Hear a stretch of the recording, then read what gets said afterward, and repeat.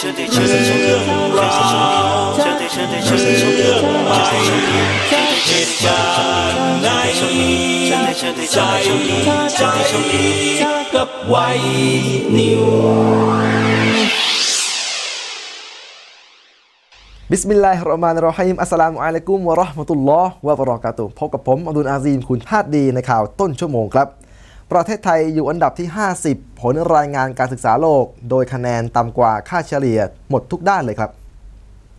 ผลสำรวจนี้ปรากฏอยู่ในรายงานโครงการเพื่อการประเมินนักเรียนระหว่างประเทศทุก 3 ปี ขององค์การเพื่อความร่วมมือทางเศรษฐกิจและพัฒนา หรือ OECD โดยสำรวจให้เด็กนักเรียนวัย 15 ปีจำนวน 510,000 คนจาก 65 ประเทศ พบว่าในปีนี้ เป็นอีกครั้งที่เด็กนักเรียนของประเทศจีน ครองอันดับหนึ่งด้านทักษะทางคณิตศาสตร์ การอ่านและวิทยาศาสตร์ ขณะที่สิงคโปร์ฮ่องกงไต้หวันและเกาหลีใต้ ล้วนติดอันดับ 5 แรกในความเป็นเลิศทางคณิตศาสตร์ ประเทศและเขตเศรษฐกิจที่ร่ำรวยนี้ มีขนาดเศรษฐกิจรวมกันมากกว่า 80%ของโลก และรายงานผลการศึกษาที่ออกมานับว่ามีอิทธิพลอย่างสูงต่อเจ้าหน้าที่ด้านวางแผนนโยบายการศึกษา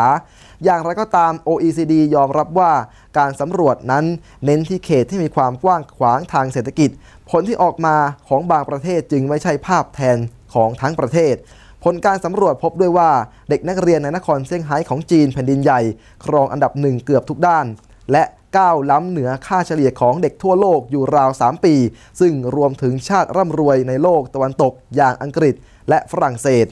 รายงานยังให้ข้อสังเกตด้วยว่าความแตกต่างด้านการศึกษาระหว่างเพศยังคงมีผลสูง โดยเด็กผู้หญิงจะมีทักษะด้านการอ่านสูงกว่าเด็กผู้ชาย ขณะที่เด็กผู้ชายกลับทำคะแนนทางด้านคณิตศาสตร์ได้ดีกว่า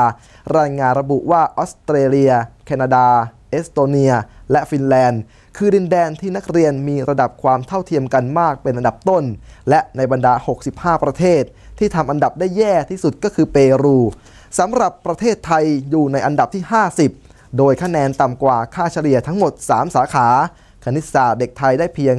427 คะแนน การอ่านได้เพียง 441 คะแนน และวิทยาศาสตร์ได้เพียง 444 คะแนนครับ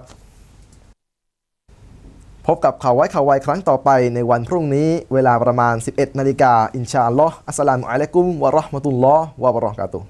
เหตุการณ์ในใจ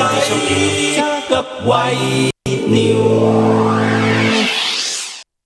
กาแฟเรโน